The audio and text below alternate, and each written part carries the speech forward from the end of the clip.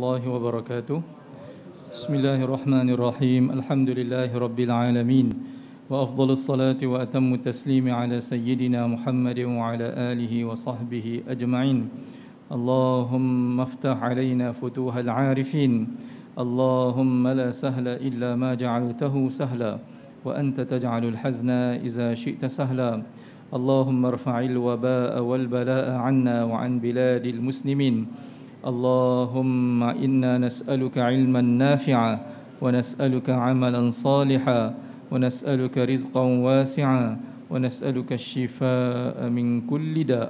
ربنا زدنا علما وصلى الله على سيدنا محمد وآله وصحبه وسلم.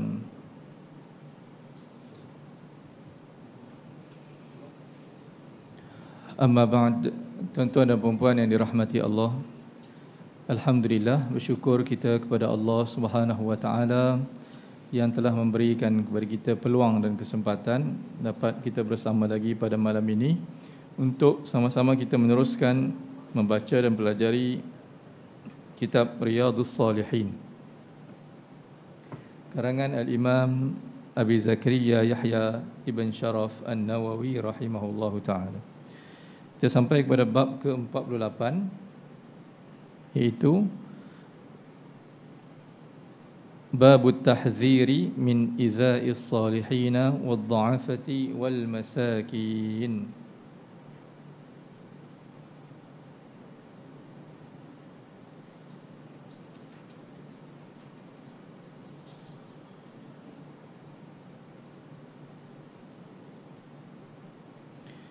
قال الإمام النووي rahimahullahu taala wa nafa'ana bi ilmihi wa bikum wa ja'alana mukhlisina bi qiraatih. Bab at-tahdhiri min idha'is salihin wad dha'afati wal masakin. Ini adalah satu bab dalam menyatakan amaran daripada menyakiti orang-orang saleh dan golongan yang lemah dan golongan yang miskin. Jadi apa hukum kita menyakiti orang soleh atau orang yang lemah dan golongan yang miskin hukumnya adalah haram. Menyakiti sama ada dengan perkataan ataupun dengan tindakan. Qala Allah Ta'ala yu'zuna al-mu'minin wallazina yu'zuna al-mu'minina wal-mu'minati bighairi maktasabu faqad ihtamalu buhtanan wa isman mubina Suratul Ahzab ayat ke-58. Dan orang-orang yang menyakiti orang-orang beriman lelaki dan orang-orang beriman perempuan dengan perkara yang tidak mereka, mereka lakukan. Maksudnya fitnah. Mereka memfitnah orang yang beriman di kalangan lelaki dan perempuan dengan sesuatu dosa ataupun kesilapan ataupun kecuaian yang tidak dilakukan faqad ihtamalu buhtanan wa ithman mubina. Maka sesungguhnya mereka telah menanggung satu pendustaan dan dosa yang amat nyata. Jadi jelas apabila Allah menyebut orang yang menyakitkan orang yang beriman lelaki dan perempuan dengan sesuatu perkara yang tidak mereka lakukan. Menuduh melakukan sesuatu dosa ataupun sesuatu kesalahan. Sedangkan kesalahan itu tidak dilakukan oleh mereka tanpa bukti dan sebagainya. Maka sesungguhnya dia telah menanggung satu pendustaan dan dosa yang nyata. Kita rasa kadang-kadang sedih juga dengan orang Islam ataupun bangsa Melayu Islam di Malaysia yang mana mereka berpecah belah dan mereka bergaduh sana sini. Dan mereka melemparkan pembohongan dan fitnah antara sesama mereka. Demi untuk kuasa dan demi untuk pangkat dan darjat. Sepatutnya kalau kita orang beriman dan orang Islam yang sebenar sepatutnya kita menjadi contoh kepada bangsa yang lain kan? Jadi contoh kepada orang yang beragama lain. Daripada sudut ini berhati-hati daripada terlibat menuduh Bahkan sebaliknya kalau kita nampak kawan kita ataupun sahabat kita ataupun orang Islam yang lain pun melakukan satu kesilapan yang mana kesilapan itu ataupun dosa itu antara dia dengan Allah SWT tidak melibatkan orang lain lah seperti menipu dan rasuah itu melibatkan masyarakat. Ini dosa antara dia dengan Allah. Kewajiban kita ialah menutup keaiban dia. Kalau kita nak nasihat, nasihat antara kita dengan dia. Bukan kita pergi viralkan, pergi malukan dia kan.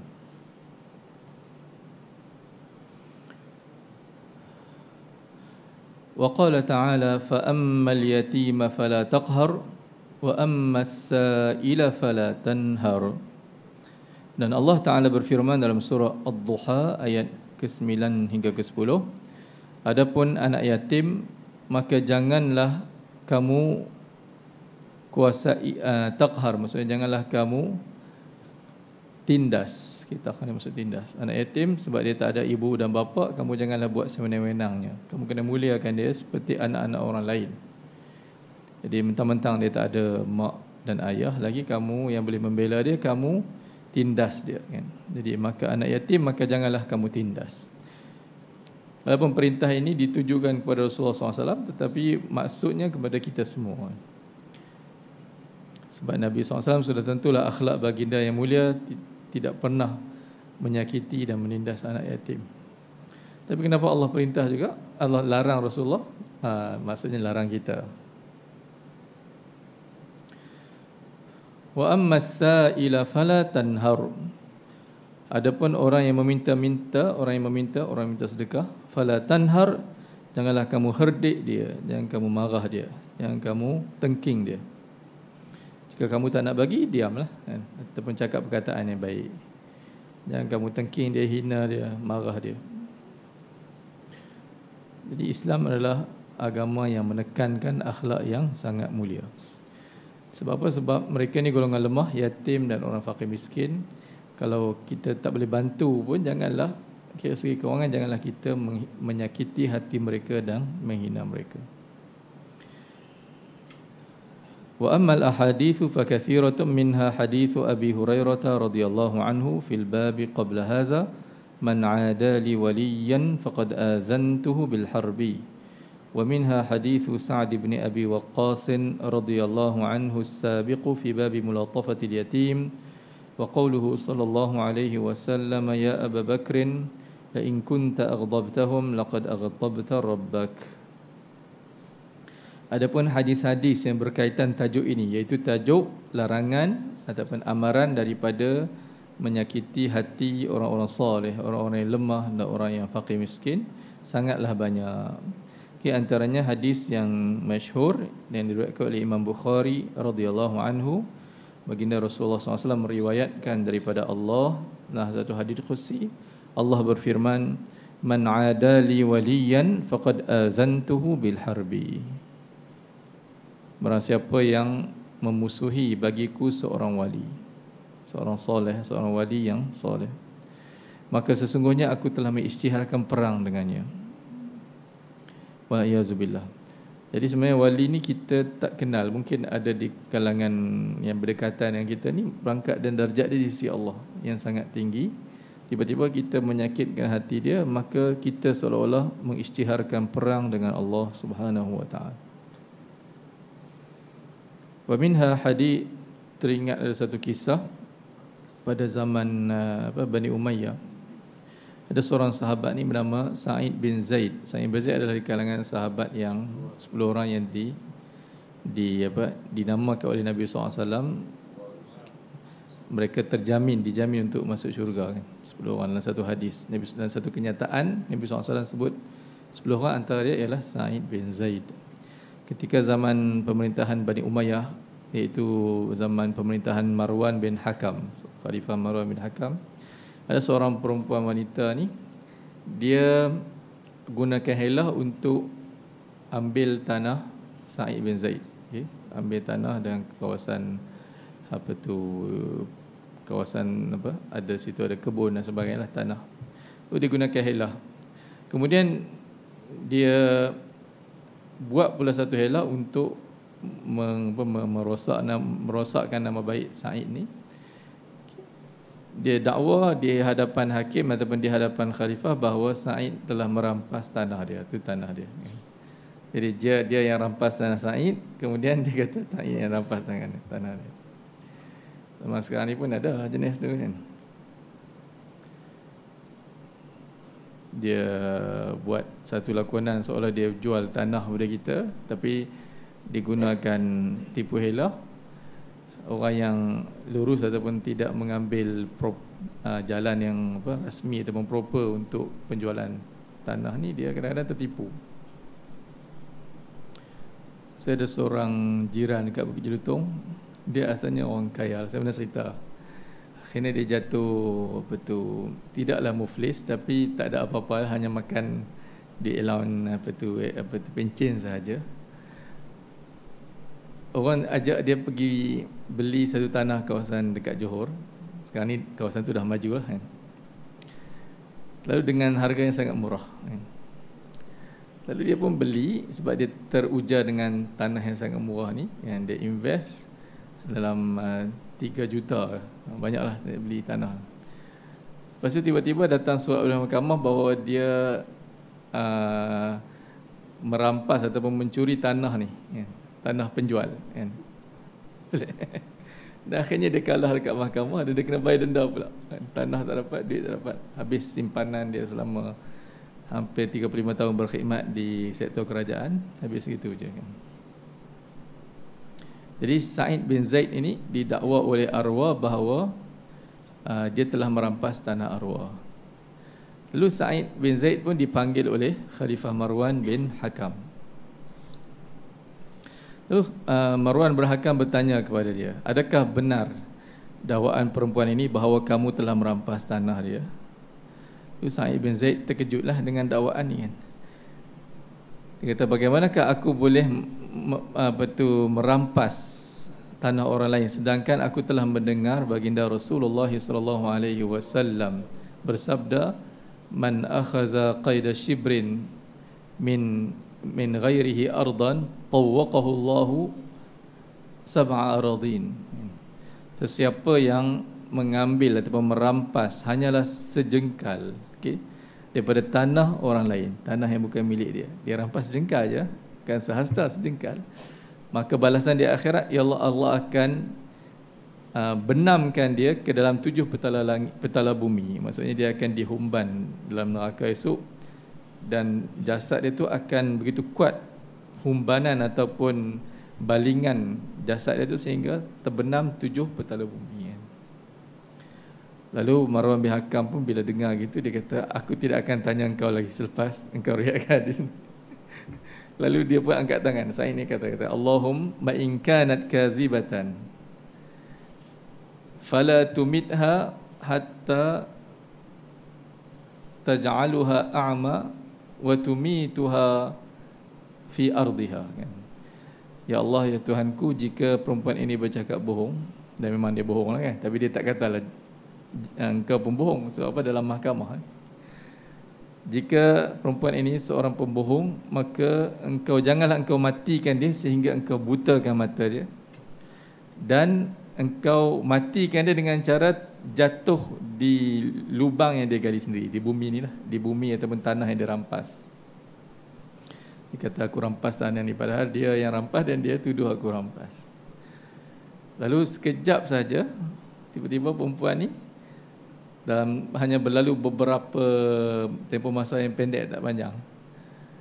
Tiba-tiba perempuan ni satu hari bangun pagi tak nampak buta kan. Lalu dia berjalan-jalan di kawasan sekitar apa tu Damsyik. Di cerita ni kisah ni Damsyik lah di Syam. Sambil mengeluh dia kata aku dah terkena doa Said bin Zaid.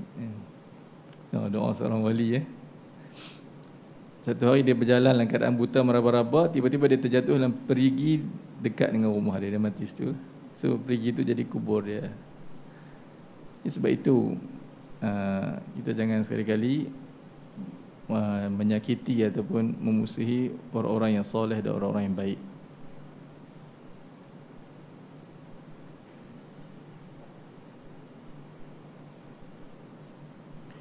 Tapi dalam masa yang sama, jangan pula orang yang di apa dianggap soleh oleh masyarakat dia menggunakan ni kesempatan pula kan. Sebenarnya dia buat salah, dia buat benda yang tak betul. Eh. Lalu orang tegur dia, kita bawa ramah dia kata, ha, jangan sakit hati aku, aku ustaz. Engkau siapa? Engkau sakit hati aku. Ha. Dan dia buat salah. Dia guna dalil ni. Ha, banyak juga orang ambil kesempatan macam tu kan.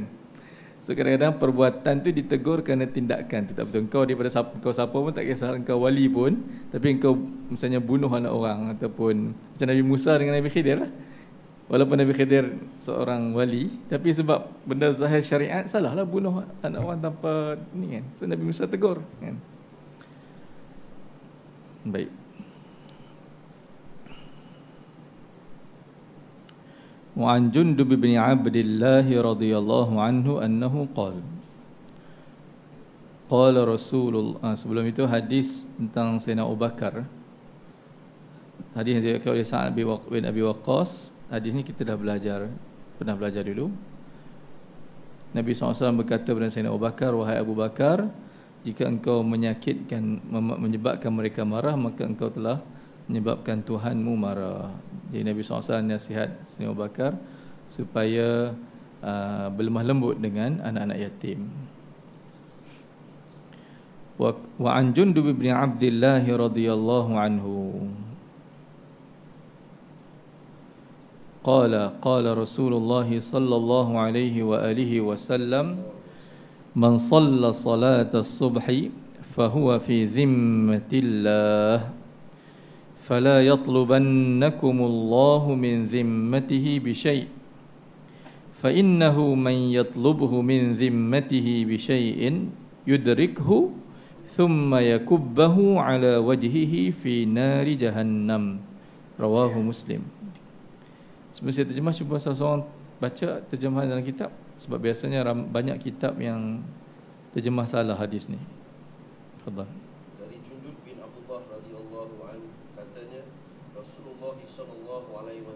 Sallallahu alaihi wasallam.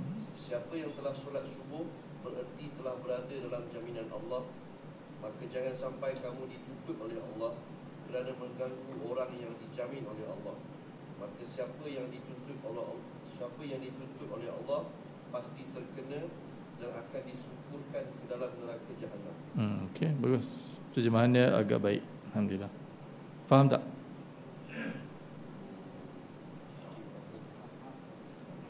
Siapa faham? Angkat tangan. Siapa tak faham? Angkat tangan. Yang tak angkat ni?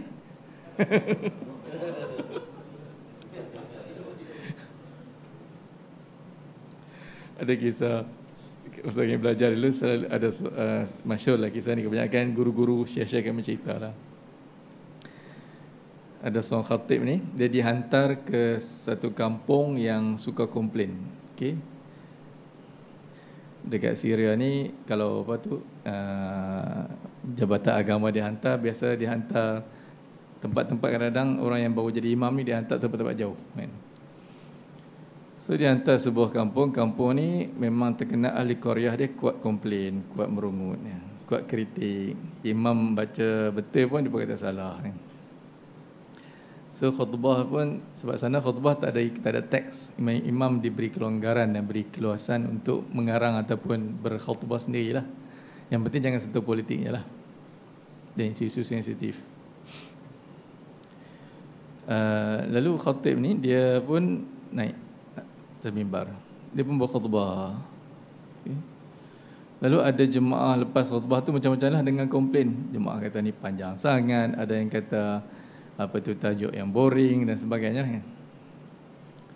Lepas tu yang kata ni khutbah ni jemaah ni kami dah tahu dah tajuk ni kami pernah dengar dah. Tanya yang lain sama kan. Khutbah yang lain sama, tajuk yang lain. Lalu minggu depan dia pun naik atas mimbar. Lepas tu dia kata, adakah kamu semua tahu apakah yang akan aku khutbahkan kepada kamu pada Jumaat pada uh, waktu ini kan? Semua semua kata tak tahu. Mana nak tahu apa? Lain macam kat sini sini semua ada teks kan? Tuan-tuan boleh print tengok sendiri kan? Bahkan ada dekat TV dan sebagainya. Jadi kita dah beritahu dah khatib nak kata apa sini kan? Lalu dia kata bila dia orang kata tak tahu kan dia kata tidak ada guna untuk bercakap dengan orang yang tak tahu. So dia pun turun member. Lepas tu hari jemaah pun kata "Ah, kita tulang kau ni kritik dia sangat. Tu khatib tengok dia dah merajuk tu cakap minggu depan kalau dia naik lagi atas mimbar jadi tapi dia baca setakat rukun khutbah je lah kan? Ha, sah lah buat. Minggu depan kalau dia, dia tanya kita engkau tahu tak? Kita semua jawab tahu kan? Lalu minggu depan dia pun naik kan? Selepas dia kata ittaqullah ayuhan nas ittaqullah uh, dia pun tanya adakah kamu semua tahu wahai sidang jemaah apakah yang akan aku khutbahkan pada kamu semua ini mereka kata tahu kan Oh dia kata dah tahu tak payah khutbah lah. Dah kamu semua tahu khutbah apa lagi kan. Dia pun turun kan. Lepas tu dia kata macam mana kan. Pakat sama-sama ahli Quran ni pakat bincang kata minggu depan kalau tuan imam tanya kita jawab kita bagi dua. Satu kumpulan kata tahu, satu kumpulan kata tahu.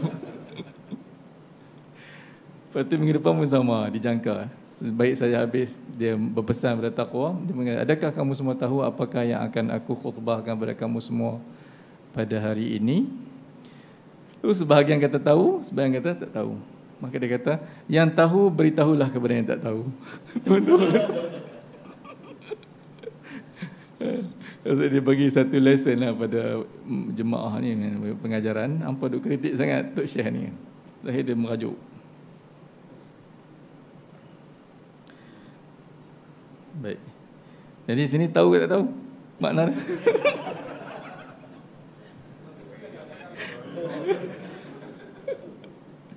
Ada. Baik. Man salla Rasulullah SAW bersabda, Man salla salata subhi fahuwa fi zimmatillah.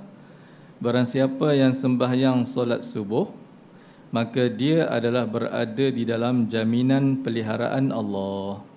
Maksudnya hari itu Allah dia berada di bawah jaminan Allah. Ada riwayat lain mengatakan sembahyang subuh secara berjemaah. Okay. Jadi yang lebih elok kita jaga sembahyang subuh secara berjemaah. Tapi di sini uh, riwayat ini pun betul juga. Maksudnya kalau orang perempuan yang sembahyang di rumah pun dia sembahyang subuh dalam waktu maka dia berada dalam jaminan Allah. Jangan sembahyang subuh sebelum masuk waktu ataupun selepas terbit matahari je. Tak masuk dalam jaminan Allah. Jadi siapa yang pagi tu dia terlajak bangun-bangun tengok matahari dah terbit, ha, dia kena hati-hati lah. Sebab hari itu dia tak ada di bawah jaminan peliharaan Allah. Mungkin apa-apa musibah kena ke dia, kemungkinan. Hmm.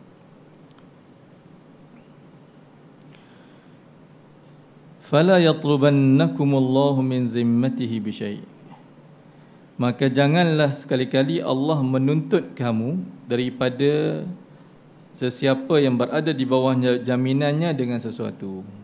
Maksudnya kamu nak sakiti orang Islam. Hati-hati ada di kalangan mereka yang jaga sembahyang subuh berjemaah. Ada di kalangan mereka yang tak pernah dah lama dah tak pernah tinggal sembahyang subuh. Kan sentiasa sembahyang subuh di awal waktu ataupun dalam waktu. Okey. Jadi ini menunjukkan kelebihan solat subuh. Maka jangan sakiti dia kan. Kalau kalau dia termasuk di kalangan orang yang berjaga sembahyang subuh, tiba-tiba kamu sakiti dia, ha, siap. Okey fa innahu man yatlubhu min zimmatihi bi syai' yudrikhu kerana sesungguhnya Allah sesiapa yang Allah tuntut dia cari dia kerana dia mengganggu orang yang di bawah jaminan Allah dengan sesuatu apa pun walaupun gangguan tu sikit ataupun apa hati dia terguris sedikit saja contohnya kan. Tapi sebab dia menyakiti orang ni orang yang Allah jamin maka pasti Allah akan cari dia sampai dapat. Okey. Dan jika Allah kemudian Allah akan mencampakkan dia menunggangkan ke atas mukanya dalam api neraka jahanam walaiyazubillah ini jika apa tu dosa ataupun uh, apa yang sesuatu yang menyakitkan tu amat teruk kan sehingga menyebabkan ataupun orang yang disakiti itu tidak memaafkan dia jadi Allah amat murka dan marah kepada orang yang kacau orang yang semayang subuh berjemaah khususnya. Ini kelebihan solat subuh secara berjemaah atau solat subuh dalam waktu dia. Sebab itu kita kalau kita nak hidup aman damai di atas dunia ni kita kena ajar anak-anak kita, isteri kita jaga semayang subuh. Kadang-kadang kita datang semayang subuh berjemaah tapi kita tak kejutkan anak-anak isteri kita mereka sedar lambat ataupun isteri bangun ada setengah anak yang balok lihat tegak tak jaga-jaga kan Jadi pastikan kita semayang subuh dalam waktu dia di surau berjemaah, ketua-ketua keluarga dan anak-anak kita dan isteri kita di rumah pun semayang awal. Okey, bangun awal. Saya teringat seorang guru kami nama Syekh Muhammad Syuqair, dia imam Masjid Al-Hasan di Syria, di Damsyik. Dia ni antara orang yang saya selalu betul antara syekh yang memberi kesan lah dalam diri saya. Tapi dia mengajar dalam bahasa kebanyakan dia mengajar di masjid ni guna bahasa Ami. Ami ni bahasa bahasa pasar, bukan bahasa Arab Fusha lah. Dia selit-selit. Tapi dan dia ni uh, dia taklah mengajar di tempat yang resmi, dia dia seorang businessman niaga. Dalam masa yang sama dia jadi imam di sebuah masjid nama Masjid Hasan. Im, allowance imam di Syria ni dalam masa tu lah. 50 dolar je sebulan. Lebih kurang 50 dolar sebulan. So kebanyakan imam mesti kerja lain lah. 50 dolar nak makan apa Jadi dia ada rumah di tepi masjid. Lepas sembahyang subuh dia akan ada kelas dengan dia sampailah. Lepas matahari terbit dalam sejam itulah Lama lah kelas dengan dia. Dan tasmik Quran pun dengan dia. Tapi Syekh ni Setiap kali lepas jadi imam sembahyang subuh Lepas dia baca doa Dia akan naik keluar dari masjid tinggal kami anak-anak murid dia ni naik ke rumah dia. Semua dia fikir siapa syekh ni tak turun etikaf kan sampai tengok matahari kan pahala orang etikaf lepas ni subuh sampai tengok matahari seperti menunaikan haji dan umrah yang sempurna sempurna sempurna kan so bila dia keluar tak, tak, tak ada kan biasa dia keluar tu dalam 15 minit okay. kadang-kadang 20 minit kemudian baru dia masuk balik dalam masjid then kita start kelas lah Lepas tu baru saya tahu bahawa dia rupanya dia balik rumah dia kejut anak-anak dia semayang subuh. Dia pastikan anak dia masa tu anak dia masih kecil lah. Anak-anak yang dewasa pun. Jadi setiap hari macam tu. Maksudnya dia nak pastikan anak-anak dia dah semayang subuh ke tak? Semayang subuh. Jadi kita yang datang apa? Syekh Muhammad Syukran ni kira banyak lah sejarah saya dengan dia. Dia pun sangat apat lah. Sekarang ni dia di Turki lah. Ada satu hari ini cerita tapi boleh ke kita cerita zaman PKP ni tak boleh panjang kan. Cerita-cerita habis jom. Nak cerita tak? Tak ya.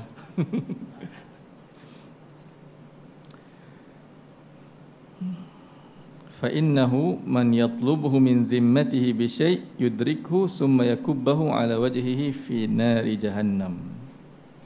Jadi sesiapa yang solat subuh ataupun solat subuh secara berjemaah maka dia berada dalam jaminan peliharaan Allah. Ini satu statement umum. Okay.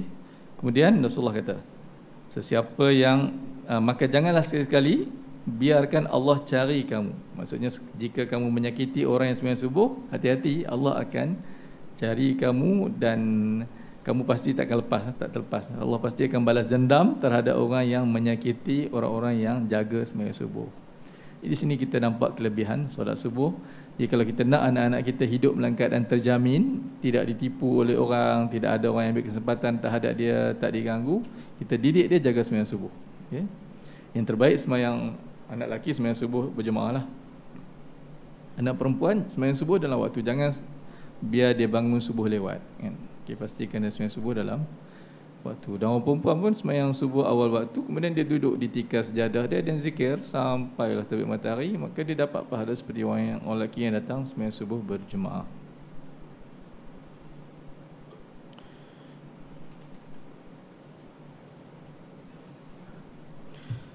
Bab yang ke-49 Babu ijra'i ahkamin nas yang ala zahir wa sarairuhum ila Allah Ta'ala bab dalam menyatakan meletakkan hukum ke atas manusia berdasarkan zahir dia. Dia menghukum manusia memberi uh, penilaian kepada manusia berdasarkan zahir. Dan rahsia hati mereka, rahsia-rahsia hati mereka diserahkan kepada Allah Subhanahu Wa Taala. Ini pun perkara yang penting yang diajar oleh syariat dan menjadi satu kaedah yang umum lah iaitu kita dalam Islam kita tidak dibenarkan untuk um, memandai-mandai menilai hati seseorang. Dia ni ikhlas dia ni tak ikhlas dia ni riak dia ni tak riak. Okey. Dia ni apa tu hati dia jahat dia ni ha, tak pada tak boleh pandai-pandai. Menghukum perkara yang kita tak nampak tak tahu. Kita boleh hukum apa? Boleh nilai? Zahir. Jadi ada perkara yang bila zahir dia cantik kita kata cantik lah zahir dia baik baik lah contoh kita tengok seorang tu dia bersedekah dengan banyak kemudian dia viralkan sedekah dia orang semua viralkan. So kita tak boleh kata oh dia ni riak dia buat kerana manusia. Kata tahu mana? Hmm.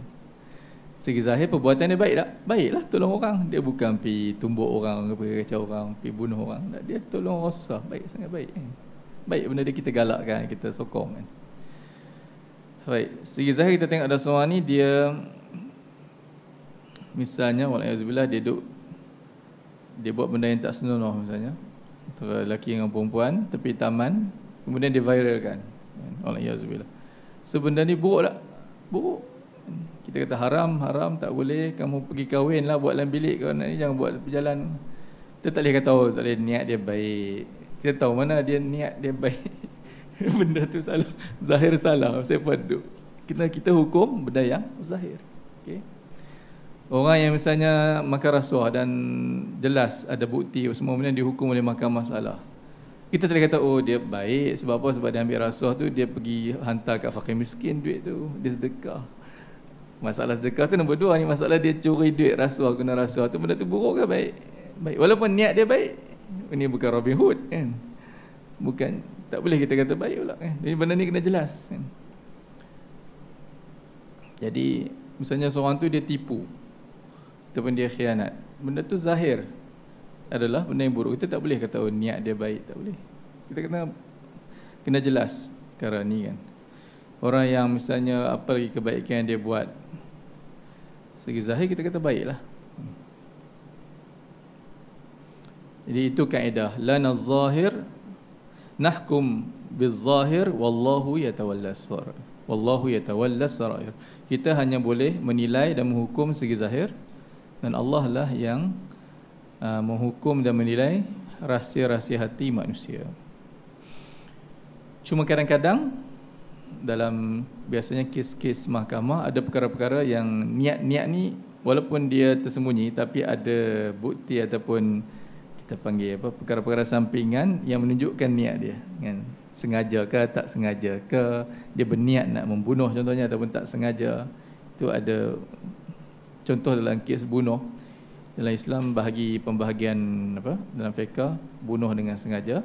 Al-qatlul amd ataupun bunuh dengan tak sengaja. Okey.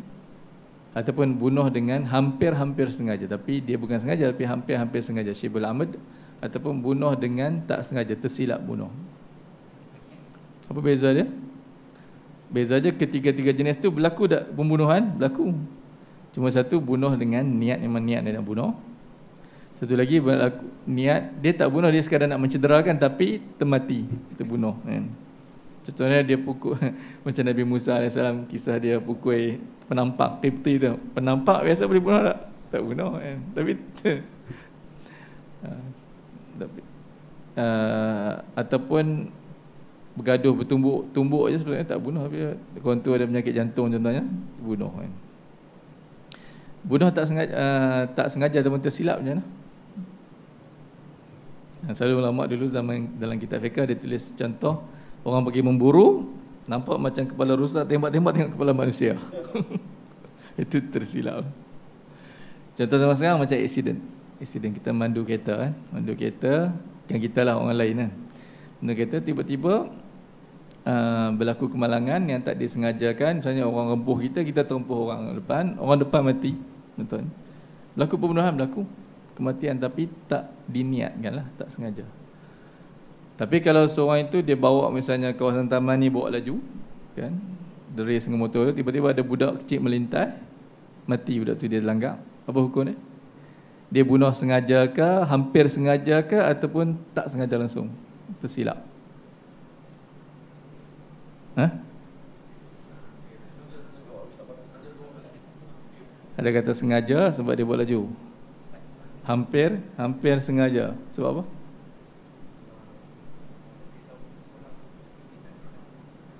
Ada yang kata tak sengaja tak?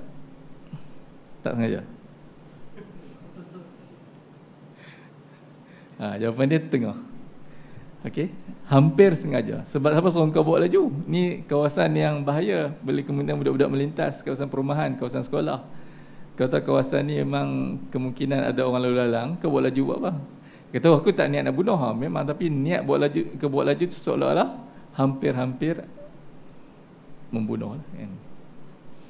Itu perkara-perkara walaupun niat ni dalam hati tapi kadang-kadang dalam kes-kes tertentu Islam Islam benarkan khususnya di mahkamah untuk hakim ataupun lawyer apa tu meng, meng, meng, apa, menggali okey sebab-sebab ataupun bukti-bukti yang menunjukkan ke arah niat seseorang. Jadi kalau kita tengok daripada sudut yang lain sudut yang lain kalau seseorang tu misalnya semayang sunat duha ketika waktu rehat dalam ofis uh, ini adalah perkara yang baik atau tidak baik eh? kalau dia panjangkan solat sunat duha tu dia khusyuk dia buat 8 rakaat setiap 2 rakaat katakan 20 minit dia makan waktu kerja dia perkara yang baik ke tak baik tak baik eh? baik orang yang sedang bekerja dalam ofis okay, bekerja dalam ofis ataupun bekerja apa sajalah berniaga tepi jalan kan yang penting dia buat pekerjaan yang halal. Dia buat perkara yang baik ke tak baik? Baik kan? Adakah itu satu ibadat? Sama seperti sembahyang sunat duha tadi? Ha ya. Ya kod tu saya apa? Kod dalam soalan Faisal tak boleh ada kod ya ataupun tidak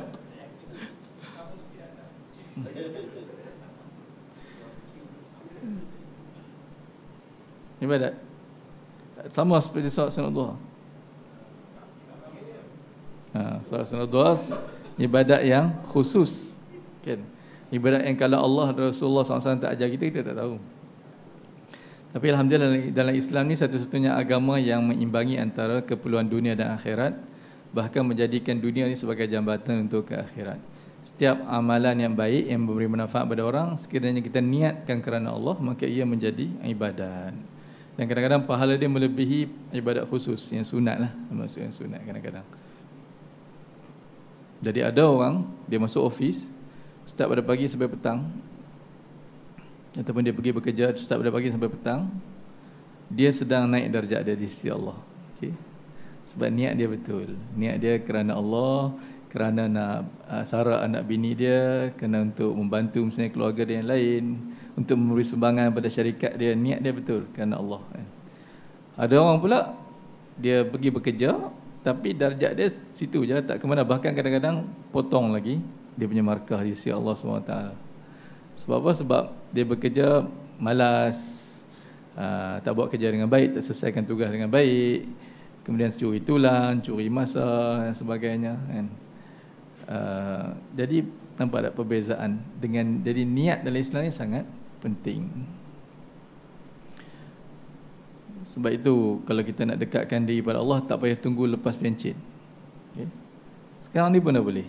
Bahkan kemungkinan kita sedang bekerja dan menyara keluarga ni kita boleh dekatkan diri pada Allah lebih lagi daripada orang yang pencet. Okay. Tapi dengan cara niat yang betul. Niat yang betul kerana Allah Subhanahu Wa Taala. Dah masuk? Sudah. Okey insya-Allah. Jadi kita eloklah cantik kita berhenti dekat tajuk ni lah. Okey.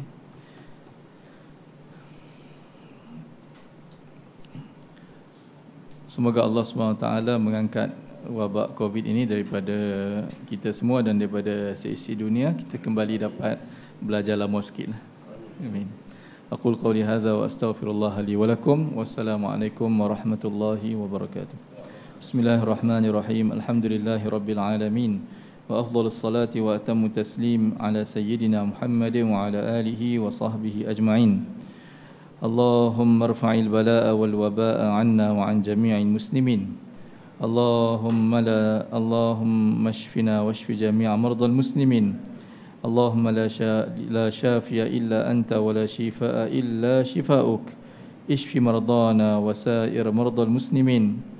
اللهم اجعلنا ممن اجتمع اجتمعوا عليك وتفرقوا عليك واجعلنا من أحبابك يا رب العالمين وأحباب نبيك صلى الله عليه وسلم وصلى الله على سيدنا محمد وعلى آله وصحبه وسلم والحمد لله رب العالمين.